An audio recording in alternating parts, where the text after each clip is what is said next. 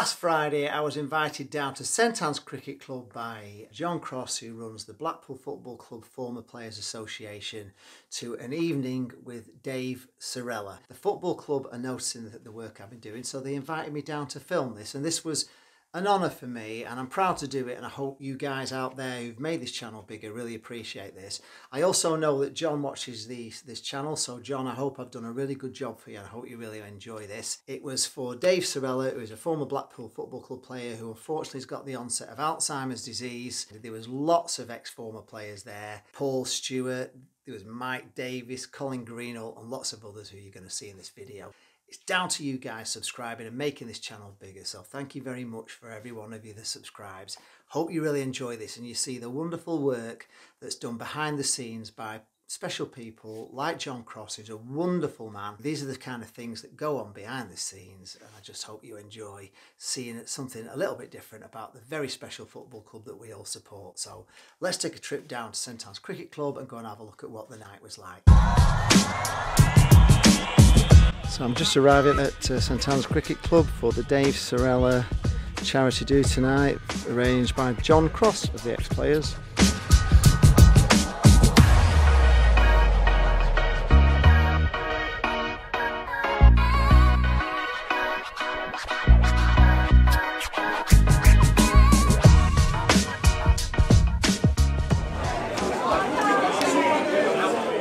It was 2013 when 36 ex-players turned up for a meeting to set up our former players association. And tonight is what it's all about. I'm here with who put the ball in the Preston net, Super Michael Davies. Well, say, say hi, mate. It's uh, hi everybody.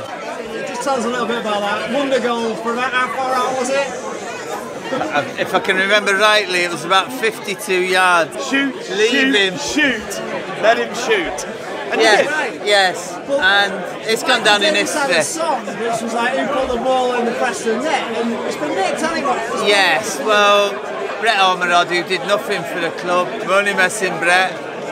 So, isn't it the song? Hi guys, I, I'm here with Paul Paul Stewart, one of my favourite players from the Hi, 80s. So, uh, so we're here for Dave Serella's charity do. Dave Serella took you in, you say, did they? Yeah, yeah. Pat and Dave took me in as a young, spotty-faced, angry, uh, know-all young footballer, uh, up and coming with Blackpool.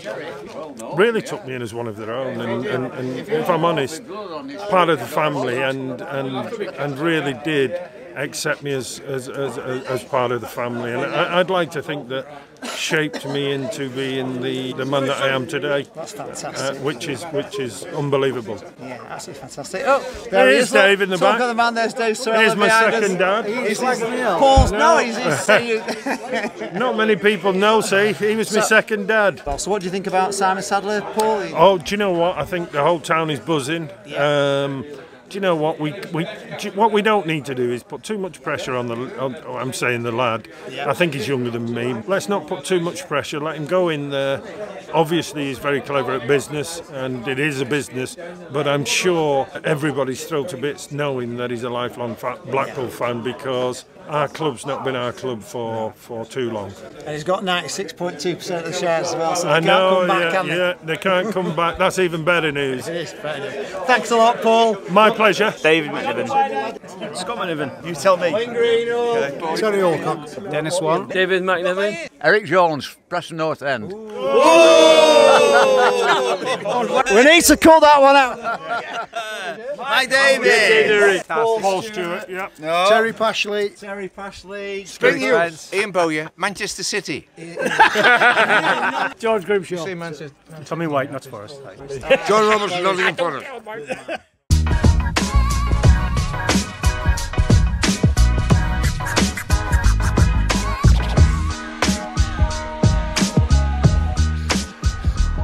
Dennis Wann, Anglo-Italian winner.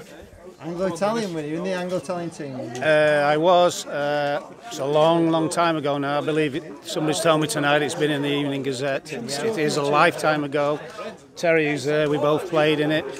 Uh, my time at Blackpool, there was a lot of internationals, Yeah. but we had a very, very Played with good. Tony Green? I played with Tony Green, T- Alan Suddick, the King, Tommy Hutchison. That's why I didn't play a lot. They were fabulous players. It was a privilege to be at Blackpool and learn from players like that. They were fabulous. But we did have a really good team spirit, and those kind of players looked after likes of us who were only young boys, and we learnt a lot from them, seeing them day in day out. They were fabulous players, and I enjoyed my time at Blackpool. How many years? Five years. Five years, and I finished one year in the 80s. Just before I would have finished the year that Dave Serella came, and I met Dave Serella through frequenting this cricket club and we later became thespians in the local amateur dramatics. So we enjoyed our time in that. So did you go on from Blackpool to play elsewhere? did you return? I, uh, initially, I went to York City where we got to the champ championship today. We got promoted to the second division, and unfortunately, I was I was going to get a transfer to Sheffield United, and I broke my leg seven minutes before the end. And after that, I did play for the rest of my career, but it was always in the third and fourth division. But hey. He still played. I met a lot of wonderful lads, of which Dave became one of my best friends, and we helped run a local team called Blackpool Wren Rovers. And as I say, went on to be thespian actors. So many years ago, when Dave worked at Express, we had a fancy dress party at the Alpine Hotel in Blackpool. Everyone made a real effort. Some people hired costumes, others made their own. In walks Dave, dressed in a lounge suit, tie, smart shoes, and hair slicked back. It looked as if he hadn't realised it was fancy dress. He stood at the bar for about 10 minutes, then takes a pair of glasses from his top pocket and puts them on. He then goes to the middle of the room in full view of everyone and starts to strip off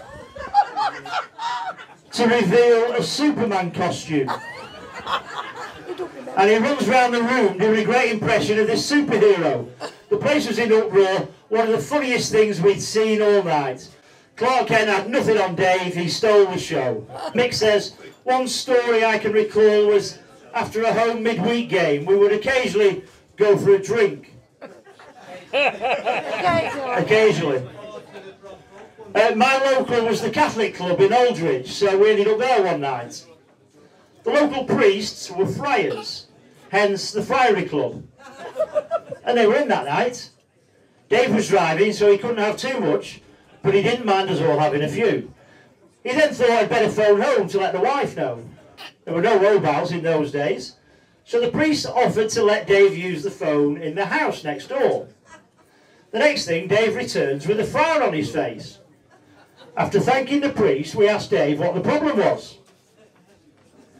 He said, well, nothing really. The wife asked me where I was, so I looked round, and the only thing I could think to say was, I was in a friary.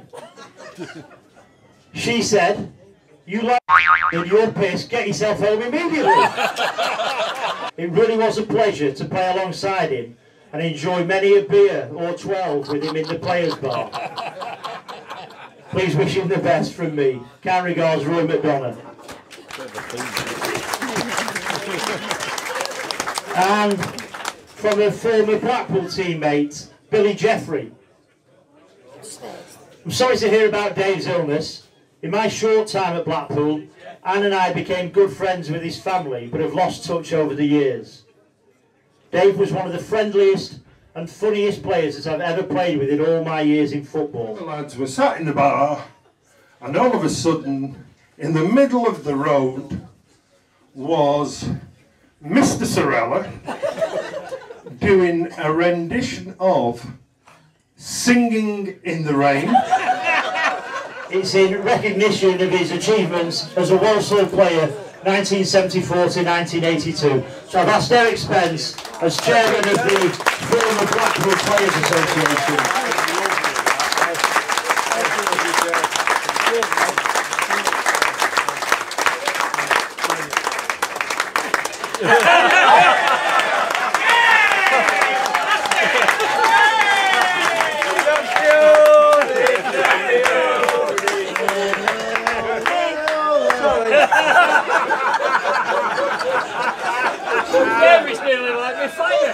I've had a fabulous night. Thank you very much. I was very apprehensive to start with, um, but I've really enjoyed myself. And thanks for everybody coming along. Thank you. When no one else when everything is going on. Huh?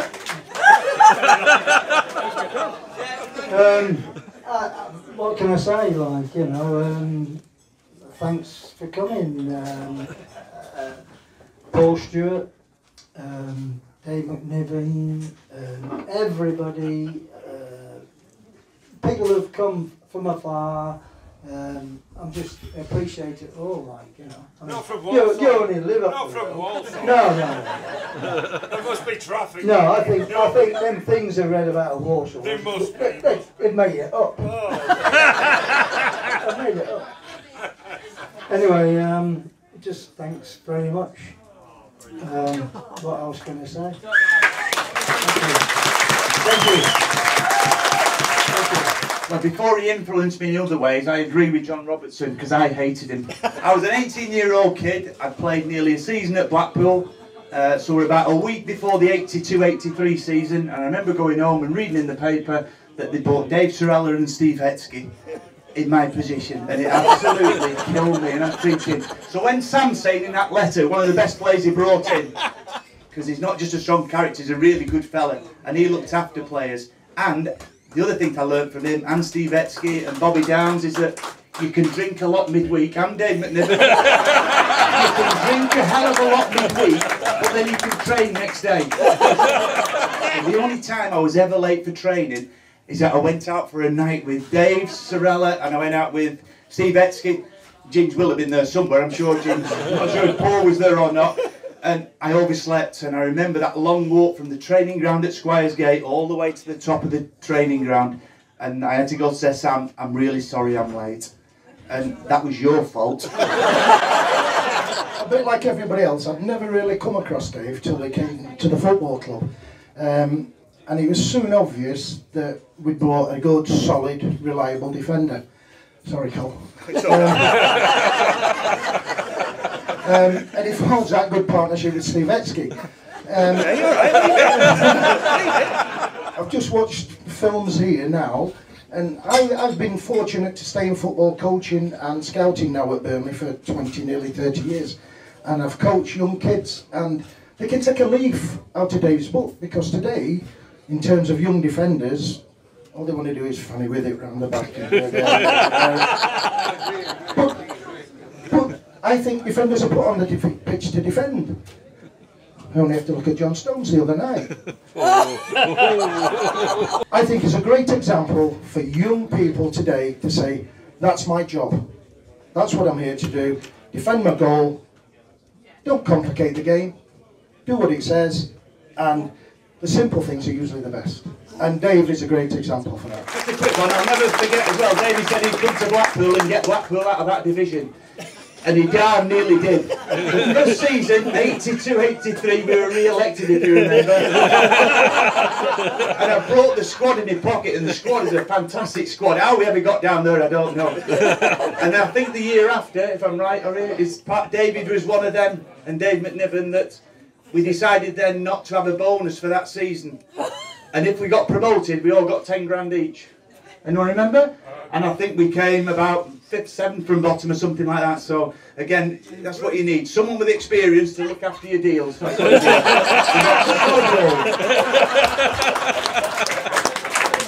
Important news release. Senior citizens are the nation's leading carriers of AIDS. Hearing aids, band aids, Rolaids, walking aids, medical aids, government aids, and more to the point, monetary aids for the children.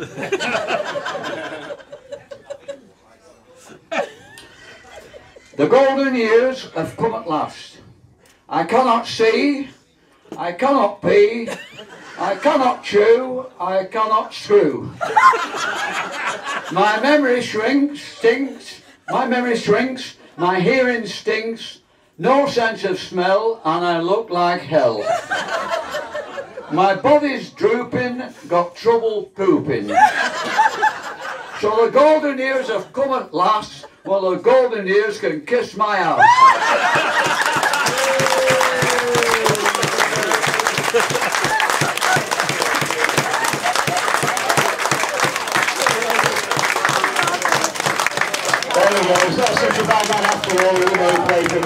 This is a really amazing turnout for Dave Serella, very popular player. With uh, you can tell just with the attendance on this, there's lots of people here.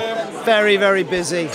Very popular player at Blackpool Football Club. I hope you really enjoyed that video. That was a privilege for me to go and video that tonight. So many ex-players there, Paul Stewart, Mike Davies, Colin Greenall, and of course Dave Serella, who sadly has got the onset of Alzheimer's. So it was quite a touching night and they did a wonderful thing for him. And John Cross, who looks after the ex-players, he's just a, such a lovely man. I have a lot of respect for him and I just, you know, I I really hope you enjoy this video. It's a little behind the scenes thing. These these things are going on all the time and these things now with the new owners, uh, you know, they're going to be better and bigger and everything because it was so hard working with Owen Oyston. But it's a really wonderful thing and I just really hope hope you enjoy this video. I'm, I'm it's just an honour to be invited to that sort of thing and uh, uh, it's all down to you guys as well out there who are subscribing and, and coming with me on this journey because these are the kind of things that that I can do. I know people keep asking me, keep making videos, keep making videos, Lee, and I will keep making videos because I want you guys to see how wonderful a club we all support. So thanks for all your support. I do really appreciate. Thanks for all the message and everything. Uh, I'll just catch you in the next video. Thank you.